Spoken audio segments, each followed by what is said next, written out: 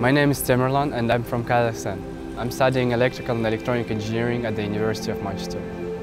When I started to think about what I wanted to do in my future life, I thought that I want to make a difference to try and change the world in a better way.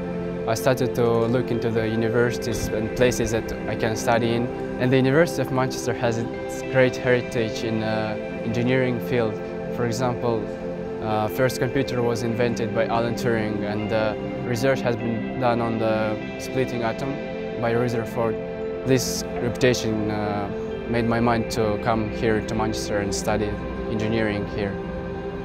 The University of Manchester provides very good support for the first-time arrival students, especially during the welcome week. Uh, there are so many activities going around the university. That's the place and uh, the time where you can make uh, friends. There are plenty of societies that you can join.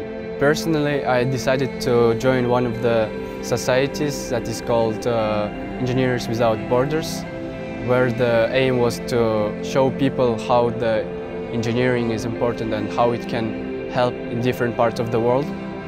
If you decided uh, to come to Manchester, my advice would be to be involved in uh, most of the activities that are here around the university and the people here are very friendly and uh, they'll make their best to try and help you.